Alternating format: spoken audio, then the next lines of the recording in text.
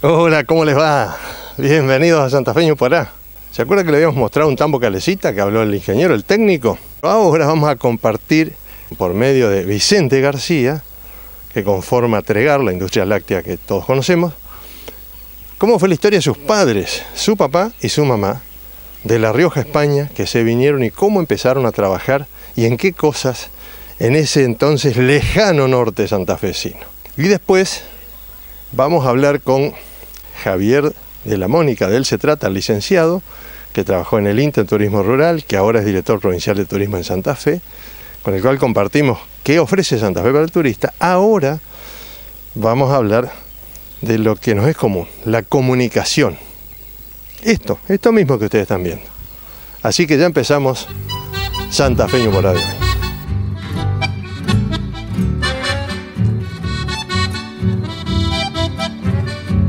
Todo lo que este sector campo se identifica como la riojana, que proviene de que mis padres eran de La Rioja, en España.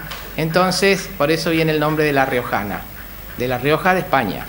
¿Ha traído vino alguna vez de La Rioja para ver que era cierto? Hemos ido a La Rioja varias veces y hemos tomado el vino del Tempranillo, sobre todo, que es el que se cultiva en La Rioja, que es un muy buen vino, que dicen que es el mejor vino del mundo. No, no sé si es tanto, porque en Argentina tenemos muy buenos vinos, en Chile hay muy buenos vinos, en distintos lugares del mundo hay muy buenos vinos pero ellos tienen el orgullo de decir que tienen uno de los mejores vinos, sí. ¿Tu papá y tu mamá vinieron de allá? Mi papá vino primero cuando tenía 16 o 17 años, vino acá a hacer, eh, lo que se decía hacer la América, porque eh, vino a la aventura, ¿no es cierto? Como venían tantos españoles que, o italianos o de distintos países que venían acá a, América dispuestos a hacer el sacrificio que fuera con tal de eh, formarse un futuro, tener, tener algo donde desarrollarse. Y después de muchos años, eh, mi papá fue a España dos veces y la conocí a mi mamá y después se empezaron a escribir con mi mamá, se pusieron de novios y estalló la guerra civil en España. Mi papá iba a ir a España a, a buscarla a mi mamá y no pudo ir porque no había hecho servicio militar y cuando llegaba a España lo casaban y lo mandaban al frente. Entonces se casaron por poder. A mi mamá la representó un, cuñado de mi papá en el acto de casamiento y mi papá la fue a esperar al Uruguay y mi mamá que venía en barco en esa época, ¿no es cierto? Se demoraba muchísimo para venir de, Europa acá, a la, Argentina. ¿Y de Uruguay hasta acá cómo llegaron? Y de Uruguay vinieron en barco y yo estuve en el puerto y me mostraron el lugarcito por donde se bajaron ellos, lo cual te, te emocionás de una forma extrema, ¿viste? Eh, extraordinario. Y te, ya que estamos te voy a contar una anécdota. Puerto de Santa Fe. no, en Buenos Aires, en Buenos Aires, en el puerto. ¿Y de ahí en tren? ¿Cómo? Desde Buenos Aires en tren. De Buenos Aires vinieron en tren, sí, sí, sí. Contame la anécdota. No, la anécdota es que mi papá, por supuesto, para ir a España era pintón, ¿viste? Entonces se compró el mejor traje que tenía, un muy buen traje, y allá le decían el americano rico, y mi papá... Y claro, mi mamá este, quedó este, un poco nubilada por, lo que mostraba él allá. Entonces se vino pensando que esto era toda una lujuria, un mundo de maravilla, viste que en cuatro años se iba de vuelta con los bolsillos de plata y que ya tenían todo solucionado de por vida. Entonces, este, cuando llegó, a mi papá le, le, escribía y le decía que le mande la medida de las ventanas porque ella quería traer las cortinas, viste, para las ventanas. Y mi papá se hacía el oso y no las mandaba nunca las medidas. Entonces, ¿qué pasó? Que cuando mi mamá llegó acá se dio cuenta por qué no le mandaba las medidas. Porque el rancho no tenía ventanas. Por eso no le mandaba las medidas, porque vivía en un rancho de barro donde estaban las gallinas, los gatos, los perros. Y mi mamá, que tenía una profunda fe católica y que le habían enseñado, tenía un dicho siempre que decía que eh, siempre le habían enseñado a ellos, dejarás a tus padres y seguirás a tu marido. Entonces mi mamá que hizo, se sacó los, los tacos aguja, se puso las alpargatas, buscó la escoba, empezó a correr las gallinas, los gatos, los perros, empezó a barrer todo adentro y ahí empieza toda la historia. ¿Me entendés? Empiezan a trabajar los dos juntos y empiezan de a poquito, había muchos obrajes en aquella época en la zona. Empiezan a, mi papá ordeñaba las vacas, con la leche hacía queso, del queso salía el suero, con el suero criaba los cerdos, con los cerdos hacían chacinado, vendían los jamones, los chorizos, todo por los obrajes, ¿me entendés? Y los quesos, y así empezó toda esta historia, ¿no es cierto?, que lleva tantos años y que en definitiva la hemos continuado a los hijos. Bueno, los hijos además de seguir sacando leche, después dijeron, vamos a hacer más queso de otra manera. Bueno, la vida va cambiando, las cosas van cambiando, todo se va modernizando. Este, eh, primero se ordeñaba a mano, después se puso la máquina ordeñadora, primero mi papá repartía el queso con un Chevrolet 27, después ya se compró uno 39, después se compró una camioneta modelo 64, después compramos un camión y así fue toda la historia, ¿no es cierto? Se fue armando.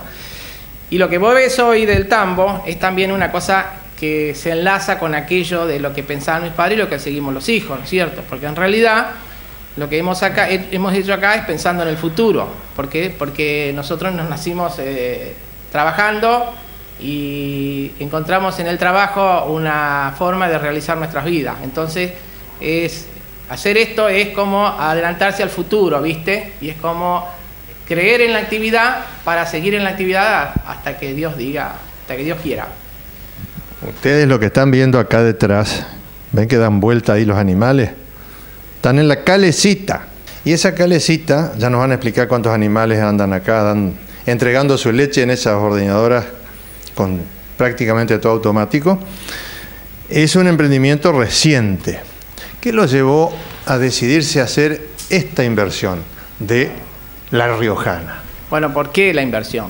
Porque yo tengo la suerte de tener un sobrino que está acá, Esteban, que es muy trabajador, de tener un ingeniero agrónomo que también es muy trabajador, y tengo la suerte de tener un veterinario que también es muy trabajador y son gente joven con muchas ganas de hacer cosas.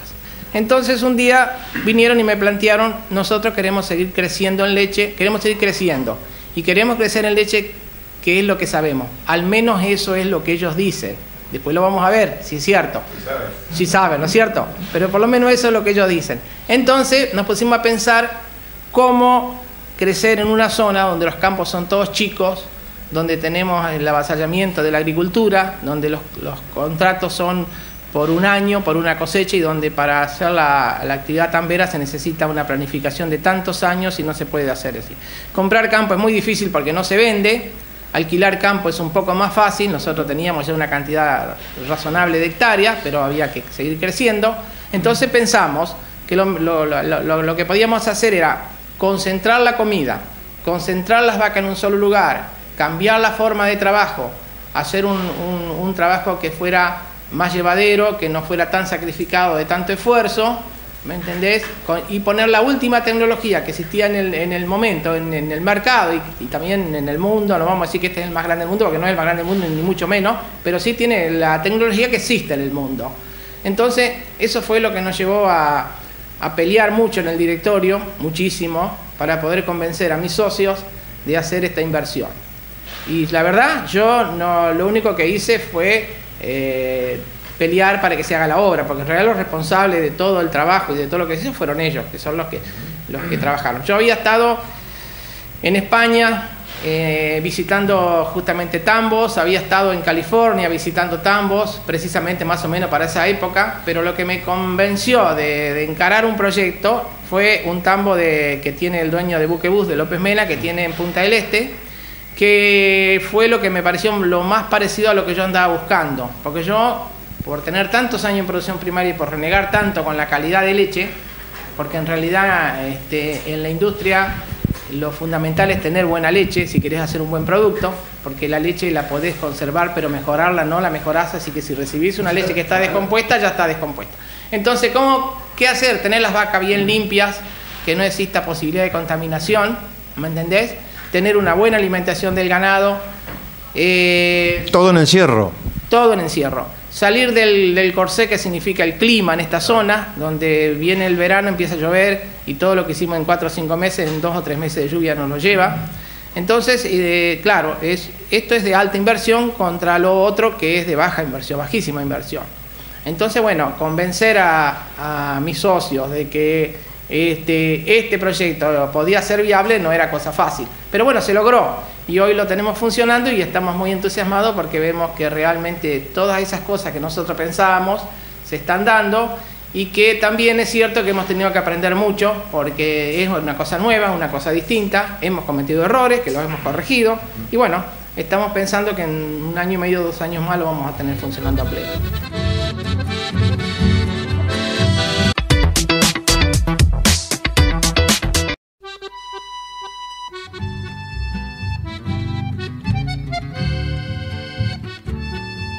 Cómo se financió. semejante obra? ¿Recursos propios, crédito? Bueno, eh, es el gran problema de la lechería nacional. La lechería nacional eh, tiene una serie de, problemas que son de toda la cadena de la lechería, ¿no es cierto? Que hace que nosotros hace 15 años casi tengamos la misma producción cuando nuestros competidores limítrofes han ido creciendo, algunos el 100%, otros el 150%, otros el 70%, pero todos han crecido. Y nosotros eh, quizás no hemos todavía encontrado la fórmula ideal para que la gente invierta en esta actividad y tengamos un verdadero crecimiento. Eh, ¿Cómo se financió esto? Teníamos recursos generados, esto se hizo totalmente con recursos del mismo sector. Nosotros, nuestra empresa tiene cinco unidades de negocio. La más importante es la industria láctea, la que le sigue es la producción de campo, de leche, de carne, de cereales, eh, después este, siguen los cerdos, tenemos también un criadero de cerdos muy moderno, tenemos también el transportes y tenemos una planta de alimentos balanceados que hacemos los alimentos balanceados para nosotros y para los productores y que a su vez hacemos el speller de soja y el aceite de soja, la soja desgomada, el aceite desgomado de soja. Eh, bueno, es, cinco unidades de negocio se manejan con un balance independiente cada una y en este caso particular, este proyecto se ha hecho totalmente con recursos del mismo sector. Recursos que este, teníamos y, de apalancamiento bancario, como hemos hecho también otras cosas, ¿cierto? Que es lo que nos ha permitido poder concretar esta, esta obra que hemos hecho. Bueno, la, planta de balanceado este, entre eh, haciendo balanceado con sobre todo los eh, alimentos principales son el maíz y el espeler de soja, ¿no es cierto? Son los alimentos principales, después llevar todos los demás. Nosotros estamos elaborando 2 millones y medio de kilos mensuales, que eso se consume, parte en la producción nuestra y parte se vende, ¿no es cierto? Porque también nosotros le proveemos de los alimentos a la parte, la, la planta de balanceado le provee alimentos al sector campo, a la parte de cerdo y a productores, a terceros productores. Entonces, pero más o menos andamos ahí alrededor todos los meses de 2 millones y medio de kilos mensuales de alimento balanceado. ¿Y la elaboración de la planta de lácteos? La elaboración de la planta de lácteos tiene un pico de 600 mil litros de leche, que bueno, cuando viene el invierno baja y cuando viene la primavera, todos sabemos acá cómo es, eh, sube, que anda eso, entre punta y punta anda entre el 20 y el 23% en años normales más o menos las diferencias, ¿no es cierto?, de producción. Eh, ¿El área de distribución de los productos de ustedes? No, se vende en todas partes, como se vende en el resto del mundo, también se exporta. La, política es eh, exportar un 30% y un 70% mercado interno, ¿no es cierto? Esa es más o menos la política que, nosotros hemos venido cerrando. Hay veces que andamos eh, próximos del 40 y veces que bajamos al 25, depende de las condiciones este, como, como se den, ¿no es cierto? Ahora, últimamente, hace muy poco, hemos puesto, puesto en marcha la planta de la leche larga vida, que este, está trabajando muy bien, se está elaborando mucha leche del tipo larga vida, ¿no es cierto? También se ha trabajado bastante con el tema suero, aprovechar el tema suero. Hemos modernizado la planta de, de, mm, de, Calchaquí, la hemos tecnificado. Tenemos otra planta de Calchaquí que la hemos tecnificado toda últimamente. Este, también estamos este, haciendo el, suero eh, desmineralizado que lo estamos para, para especialmente para, la, para China, que es el que está consumiendo mucho para, los para la alimentación infantil. Este, y bueno, una serie de, inversiones, se han hecho muchas inversiones últimamente en, todos los sectores. Este, nosotros, contrariamente a, a veces al desánimo, al desaliento, hemos este, invertido mucho en los últimos años, en los últimos dos o tres años, tres o cuatro años, en todos los sectores, en el sector campo, en la parte de cerdo, en la parte de cerdo hemos incorporado la última tecnología, que un hermano de Esteban ha viajado a Estados Unidos ahora, ha visto que nosotros lo que hemos incorporado es lo que se está usando allá también. Eh, en la industria, como te dije, se han hecho inversiones importantes en el, 2002, en el 2013. Este, y en la parte de, de transporte también, siempre teniendo los mejores equipos de transporte, con la última tecnología en la parte de alimentos balanceados también, ¿no es cierto? Y eh, en la parte de producción de leche hemos hecho esta instalación acá, que es una instalación muy moderna y que es un cambio radical en lo que se venía haciendo hasta ahora en lo que es materia de producción de leche. Este es el único tambo en la Argentina con, con camas de goma. ¿Me entendés? La vaca se acuesta en un colchón que está cubierto, que tiene una cobertura de goma Eh, ¿Qué nos permite eso? Bajar los costos de mantenimiento, ¿me entendés? Y, no, y sacrificar lo menos posible el confort animal. Pero bajar sobre todo los costos de, mano de obra, porque lo que nosotros queremos es eh, demostrar a través de rentabilidad que la Argentina tiene un futuro, ¿viste? Y que, bueno, siempre hicimos el sistema pastoril, pero que bueno, las cosas van cambiando, las tecnologías van avanzando, todo se va modernizando. La contra de todo esto es la altísima inversión que, que tenés. Es una inversión importantísima comparado con una inversión muy pequeña que hay que hacer con el otro sistema. Y esa es la gran diferencia que nosotros tenemos que ver si realmente, una vez que lo tengamos en marcha, esto tiene el repago que debe tener cualquier inversión, ¿no es cierto? Eso es el desafío que tenemos hoy nosotros acá en esta explotación. Porque la inversión ya se hizo, ahora tenemos que ver en qué tiempo la, repagamos. ¿La energía eléctrica tiene algún soporte de auxilio? Sí, le tenemos este, la energía nos provee la EPE, que, es buena la, provisión, no tenemos inconveniente, pero a su vez tenemos un grupo electrógeno que este, si, si, hay algún inconveniente ponemos en marcha el grupo electrógeno. Y la calidad de otra de las virtudes que tiene esta zona es la calidad del agua. Tenemos una abundante cantidad de agua y de muy buena calidad, que no en todos lados se da, ¿no es cierto? Pero en esta zona realmente lo que es el, tema del agua es, es, importantísima, la calidad que tiene y la abundancia de agua que hay. Vicente, muchísimas gracias por recibirnos acá en tu propio, ¿cómo se puede llamar esto? Mira, esto es un poco, eh, si vos estás sentado acá te parece que estás sentado en una oficina y no en un tambo, ¿no es cierto?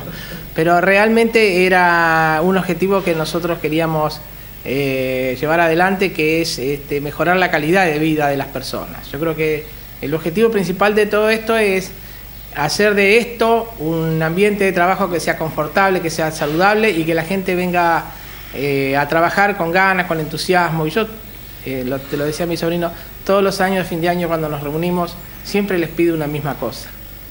Que cada día que se levantan piensen cómo hacer un poquito mejor las cosas. Siempre hay margen, siempre tenemos margen para hacer mejor las cosas.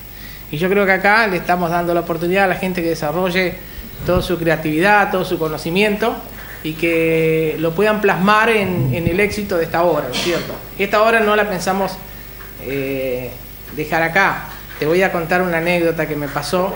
Eh, en el 2011 yo viajé con un ingeniero acá a Buzo, con mi sobrino Esteban y con otro médico veterinario que no estaba en este momento a Chile y me invitaron a compartir la mesa de la empresa en ese momento que tenía representantes de los distintos países. Y había un este, ingeniero colombiano que era representante de la empresa de Laval en Colombia.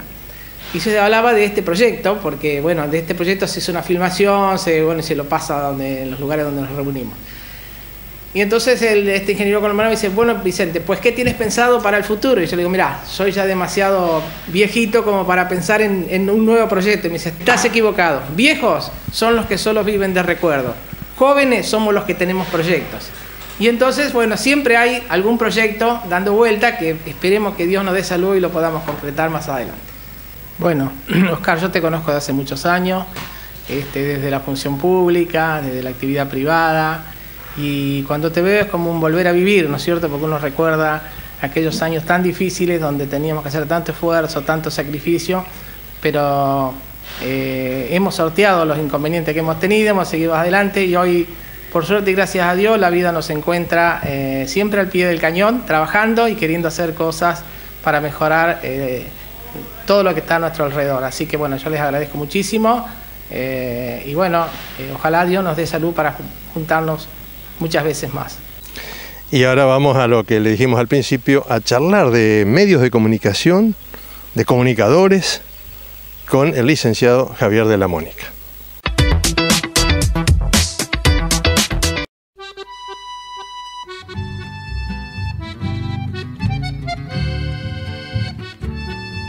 Eh, yo les quiero contar que eh, la familia de este entrevistado nuestro es de la radio.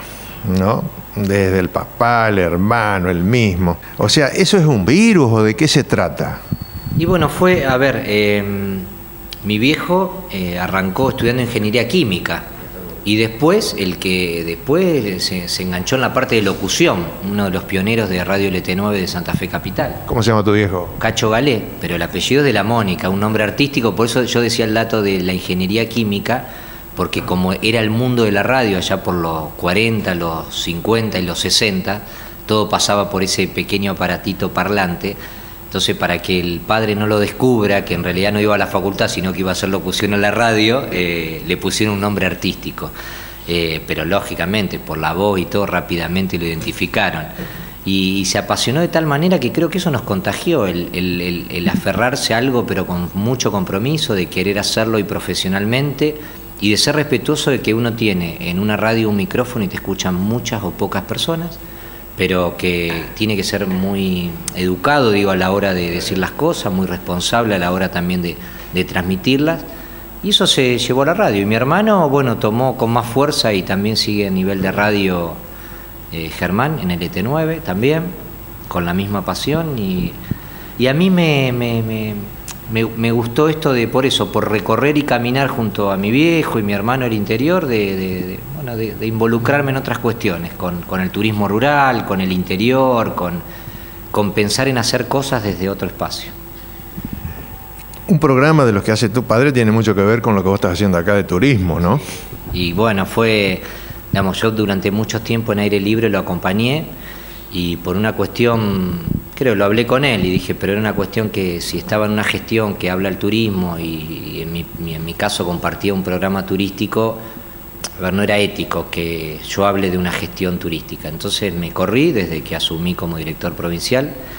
Eh, parecía que me iba a costar mucho más, pero este desafío la verdad que me, me gustó. Digo, me parece que en la vida uno toma decisiones que en algunos casos pueden ser acertadas o desacertadas, pero yo cuando uno tomó la decisión hay que afrontarla y seguir para adelante y en este caso por eso con, con esa digo esa nostalgia de estar compartiendo algo que uno quería y con, una persona como es tu, viejo pero digo esto me, llevó o me, gustó más y me, abrió desde el conocimiento otras cosas que bueno que hoy me hacen pensar que fue una buena decisión en aquel momento, cuando eras comunicador, fuimos proveedores tuyos de un micro que se llamaba Nosotros mismos. El trabajo, la producción y el sentir de nuestra gente. Para la radio, con, bueno, con, Silvina, con, otros personajes. Eh, y la verdad que eran todas esas anécdotas que, que uno en una charla, en un asado, en una mateada, eh, café por medio puede estar transmitiendo. Y eso lo llevaron a la radio, pero con, con gran habilidad, con gran habilidad y la verdad que, que uno lo destaca, Oscar, eh, permanentemente. Para todos nos ha dejado eh, un, conocimiento también de ese relato del trabajo del interior, de las anécdotas de viajes, de, bueno, pionero en estas cosas.